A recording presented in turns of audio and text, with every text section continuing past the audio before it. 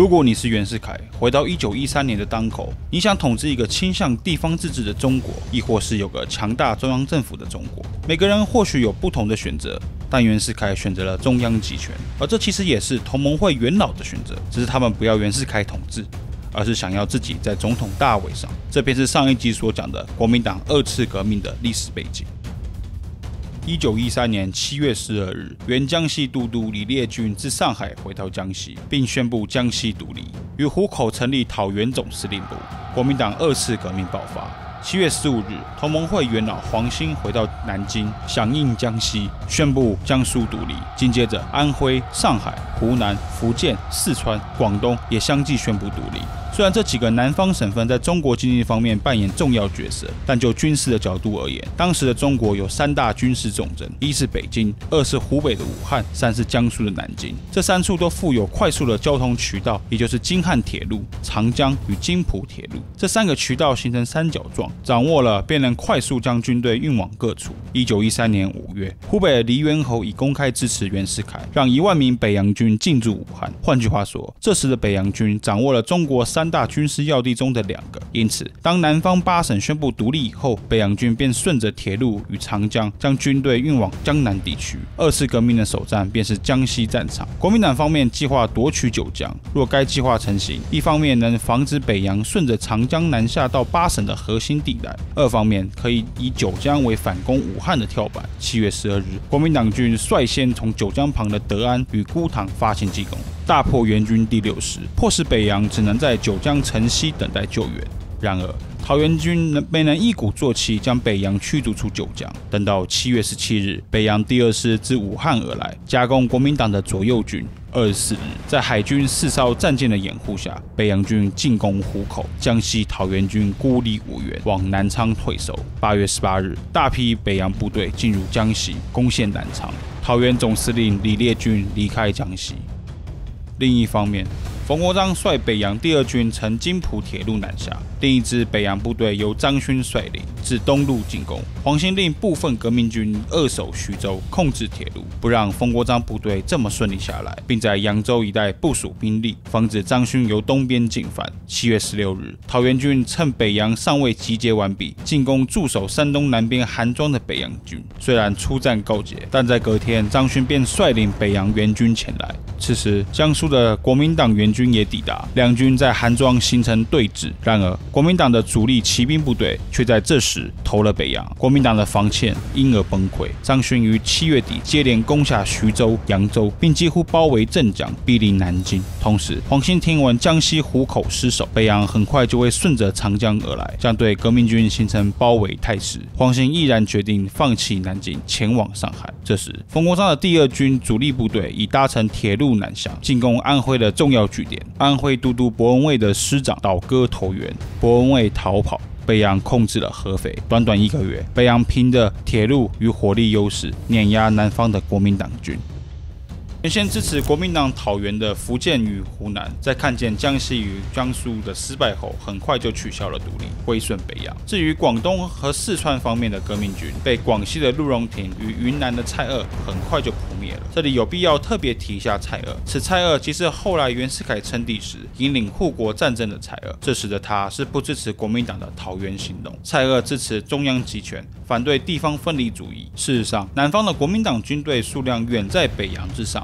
当时的北洋仅有八万常备军，但北洋军队训练有素，并且得到英国的支持，愿意将英国控制的盐税收入给予北洋政府。反观南方革命军，没有统一的指挥，军事训练也不足，军人薪资方面更是大不如北洋。更要命的是，二次革命的国民党除了反袁以外，没有其他思想号召。北洋军系就不用说了，希望朝向一个中央强大的中国，所以吸引了黎元洪、蔡锷等人的拥护。然而，在宋教仁去世以后，国民党内拥护内阁制、地方自治的派系瓦解，同盟会元老如孙文和黄兴，实际上并不支持分离主义，也希望有个中央强大的中国。虽然南方军内部还是有很多人倾向地方自治，但整个革命军其实并未有一统一的目标。在地方上支持地方自治的地方士绅，不情愿支持倾向中央集权的同盟会元老。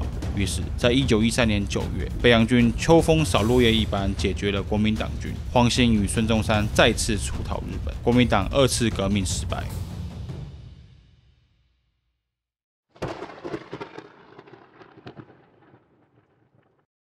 解决了最大政敌后，如果你是袁世凯，你接下来会做什么？袁世凯的目标很简单，一个能号令全国的中央政府。因此，他的第一步就是让不同的意见彻底消失。新闻审查与警察制度在这段时间加强了力道。例如，一九一二年民国造建时，全中国报刊达五百多家，但到了一九一三年末，仅剩一百三十多家。许多新闻报纸被强迫关门，还有许多新闻主事者、记者遭迫害，史称“鬼丑报灾”。第二步，要彻底掌握政治权力，包含政府。国会在二次革命后，袁世凯没有立即解散国民党，而是让他们继续待在议会。目的很简单，在临时约法体制下，总统与副总统需经过国会选举。袁世凯不能让自己的权力基础看似一言堂，所以国民党的存在仍有价值。一九一三年十月六日，参众议院举行大总统选举。很显然的，很多国民党议员不会投给袁世凯，但没关系。北洋政府派了武装的公民团体包围议会，宣称今日非将公民所属望的总统选出，不许选举人出会场一步。这个所属望的总统便是袁世凯。投票经过三轮，将近十小时的时间，最终袁世凯当选总统。隔天，仅花一轮的时间，便选出李元洪为副总统。至此，袁世凯名正言顺地登上中华民国第一任正式大总统的宝座。对于一个中央集权政府而言，不再需要不同的声音了。一九一三年十一月，袁世凯解散国民党，罪名是大家早已知的事。与南方叛党串谋。由于第一大党国民党遭解散，国会人数不足。一九一四年一月，袁世凯顺便解散了国会，临时约法所象征的三权分立至此崩溃。一九一四年五月，袁世凯颁布《中华民国约法》，是民国第一部具有宪法性质的文件，从临时约法的内阁制转化为中央集权的总统制。形式上，权力任一分为三：行政由总统任命的参政院负责，立法由立法院负责，司法归司法院。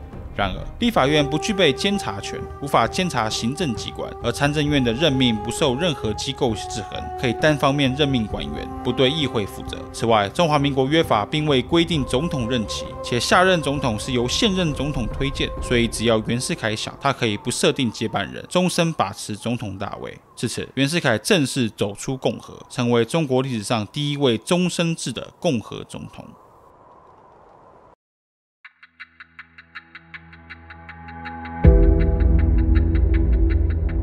一九一四年七月，欧洲战争爆发，开启第一次世界大战的序幕。八月二十三日，日本帝国以英日同盟为由。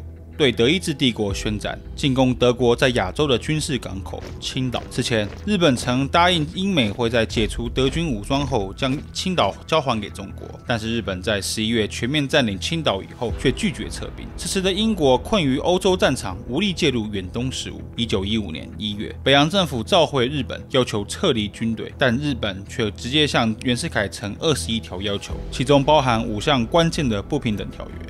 第一，日本接收德国在山东的一切利益。第二，日本在东北有开矿、定居、通商的权益，并延展铁路权九十九年。第三，日本独占中国的三大煤铁事业。第四，中国不得将沿海港口与岛屿割让他国。第五，中国政府必须聘用日本人担任军事和财政顾问，只准向日本采购武器，由日本建造铁路等等。日本还要求袁世凯政府完全保密，并尽快同意条约。当时的日本帝国虽然在军事和国力方面优于中华民国，但是并没有真的能钳制中国政府的力量。袁世凯内阁采取拖延战术应付，同时曝光消息给媒体和列强。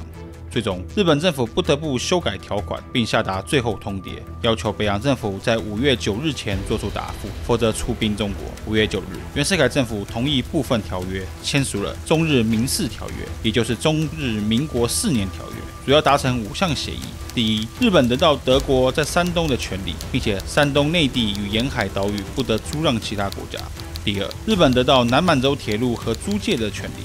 第三，在东内蒙古，日本得以与中国商人合办工业。第四，原汉阳铁厂湖北的汉冶平公司与日本资本家合办，且不允许任何形式的外资与收归国有。第五，不允许外国人在福建沿海造船、军用储煤或建立海军基地，也不许借外资置办。这几项条款的签订，使得日本在南满洲、东蒙古与华中、华南有了相当程度的势力扩张。袁世凯在签署前发表公开谈话，说道：“我国虽弱，苟侵及我主权，束缚我内政，如第五号所列者，我必誓死力拒。外交部恪守我的指示，坚决到底，尽了最大之力。经此大难之后，大家务必认此次接受日本要求为奇耻大辱。本卧薪尝胆之精神，做奋发有为之事业，举凡军事、政治、外交、财政，力求刷新。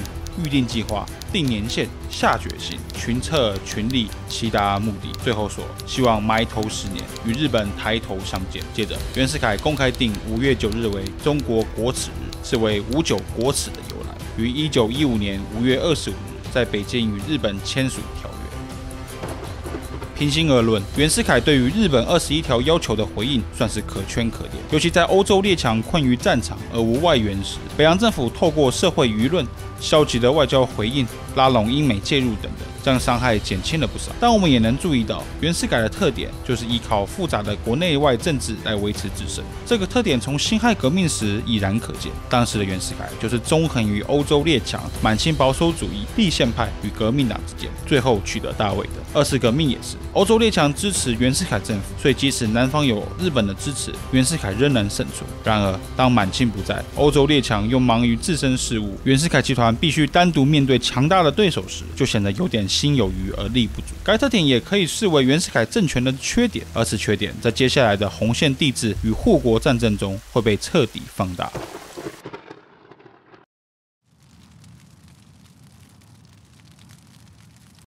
此时的袁世凯在国内已登权力之巅，外无在野党制衡，内无支撑谏言。当时袁世凯有一位美籍宪法顾问。Frank Goodnow，Goodnow 实际上是哥伦比亚大学出身的法律学者，专攻公共行政与行政法。但关于 Goodnow，在美国更有名的是，他是一位不折不扣的种族主义、帝国主义者。Goodnow 是美国扩张论的信徒。并在哥伦比亚开设一系列殖民地行政系统的课程。Goodnow 在一九一三年来到中国后，首先应袁世凯政府要求，提交一份讨论各国政治制度以及关于共和体制与中国国情的备忘录。这份备忘录很有名，因为它被北洋政府法制局翻译为《共和与君主论》，并在接下来被拿来当做支持袁世凯称帝的理论依据。但事实上，Goodnow 本人在备忘录中明确表达了对于中国回到帝制的疑虑。他说道。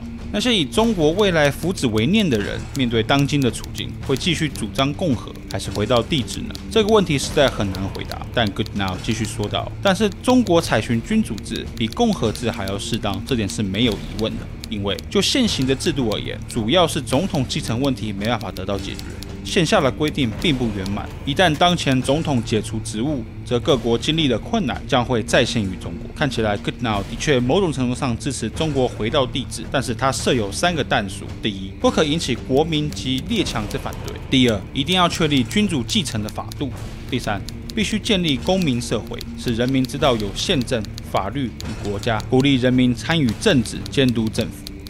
然而，支持帝制者却将 Goodnow 的意见简化为中国国情与人民不适合民主，君主制优于共和等等。特别是一个名为筹安会的政治组织，更是简单化甚至扭曲 Goodnow 的备忘录，以支持他们的立场。有趣的是，筹安会的六位领袖杨度、刘师培、孙玉云、李谢和、胡英，皆在清末时有旅居日本的背景。还有一位鼎鼎大名的新知识分子严复，毕业于英国皇家海军学院。这些新知识分子大部分都与同盟会有些渊源，却在一九一五年的夏天公开支持袁世凯称帝。或许与他们在民国建立以后所见的各种选举乱象、贿选、军阀斗争有关，使他们不相信这时的中国足以实行民主制度。无论如何，这时的袁世凯已不受任何势力的制衡，可以说有点膨胀。再加上各种支持帝制的公民团体的鼓吹，已经作为终身大总统的袁世凯开始真认为自己能废共和，回到帝制。同时，袁的长子袁克定也透过政府垄断的新闻报纸，如《顺天时报》，伪造国内外皆期待袁世凯称帝的消息。一九一五年十月六日，参政院收到各省建议改共和为君主制的请愿书，参政院。依次选出一千九百九十三名国民代表，并于十二月十一日进行国体变更的投票。结果是国民代表大会全票通过国体变更案。之后各省代表很和谐的请求袁世凯担任中华帝国皇帝。十二月十二日，袁世凯接受了帝制申令，并说：“创建一个新帝国的基础，事挺繁重，绝不可仓促举行，导致疏忽。应该下令给各部院就自己所管的事务来详加筹备，待筹备完毕再执行登基典礼。十二月二十一日，袁世凯大封伯爵给各省都督，并在三十一日时宣布，隔年改为洪宪元年，弘扬宪法之意，并更改国名为中华帝国，将中南海改名为新华公国。然而，原本在北京被迫签署同意地质书的几方诸侯，这时逃回了南方。由于国民党在一九一三年已瓦解，这时的反袁势力以梁启超领导的进步党为主力。梁启超的学生蔡锷在秘密回到其势力范围云南后，于十二月二十五日与唐继尧、国民党籍的原江西都督李烈钧共同成立护国军，并宣布云南独立。护国军立刻对四川、贵州。广西发起进攻，同时逃往日本的孙文等同盟会大佬于1914年组成新的政党，也就是中华革命党，仍以青天白日旗为党旗，游走于南方的黑社会之间。伺机而动。在护国战争爆发后，中华革命党的居正在日本人的支持下，在青岛组织反抗军，任革命党东北军司令。这时，初出茅庐的蒋介石在居正的营上担任参谋长。另一方面，原北洋元老将领已对重返帝制一事。与袁世凯产生矛盾。原本支持袁世凯的陆荣廷在广西宣布独立，接着于一九一六年三月，冯国璋、段祺瑞等北洋将领也通电反对帝制，一如二次革命时般，袁世凯再次面临各省的反对。虽然被自己的北洋部下反对，对袁世凯而言是有一定程度的影响，但这时袁世凯的实力比起二次革命时更加强大，手上拥有装备轻式武军的十万北洋大军。就算冯国璋、段祺瑞等人不再听令于他，他手下依旧有一群。能作战的军官如曹锟、张敬尧等人，那么究竟为何一九一六年的袁世凯反而最后不敌南方了呢？关键就在于列强和钱。当时严正的税收把持在各国银行团手上。二次革命时，列强认为国民党造反会造就一个分裂的中国，不符合列强利益，于是盐的收入仍支援北洋政府。然而，在护国战争时，列强专注于欧洲战场，而日本在吃了二十一条约的大亏以后，只想把袁世凯拉下来，所以大量的日本金元给了护国军与中华革命党。同时，英国也对于袁世凯称帝所引发的动乱有了疑虑。维持一个稳定的中国是大英帝国对华的长期政策，但袁世凯称帝显然不符合这项政策，因此英国停止将盐的收入交给北洋，这让北洋军陷入很大的麻烦。北洋军的最大优势就是给薪制度稳定且高于市场价，这是北洋军士气的基础。但是断盐正收入使得北洋发不出钱来，使得北洋军军心出现动摇。袁世凯才意识到，连英国都不愿意支持他了，因而，在三月二十二日，袁世凯宣布解除国体变更议案，红线帝制就在短短一百多天后黯然退场。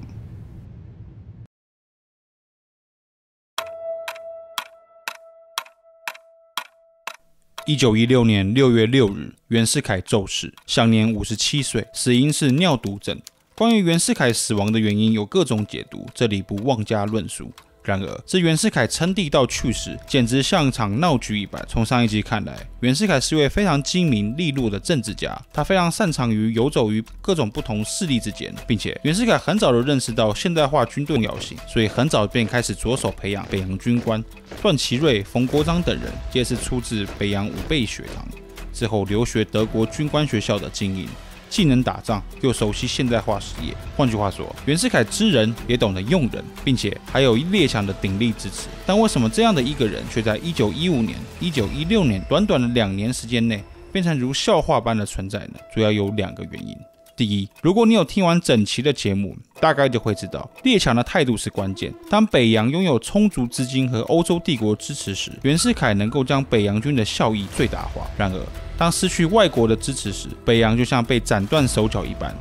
第二，或许是更关键的因素，一生战战兢兢且综合于各方势力的袁世凯，在一九一三年二次革命结束后，第一次感受到权力之巅的感觉，不受任何党派制衡。一九一三年开始的新闻审查，用人为亲，给袁世凯制造了一个大泡泡。这个泡泡大到让袁世凯真以为自己登基是众望所归。但是，一九一六年初爆发了护国战争，猛烈地戳破了这个泡泡。原本沉浸于幻想的袁世凯，一下被拉回了现实。身体与心理困窘交加，带走了这位硕果仅存的中国政治强人。在袁世凯去世以后，人们发现他在书案上亲笔写下一句话：“为日本去一大敌，看中国再造共和。”袁世凯之死象征的是一个新时代的开始，中华民国正式进入军阀割据时期。更多历史内容，请持续关注历史卫视。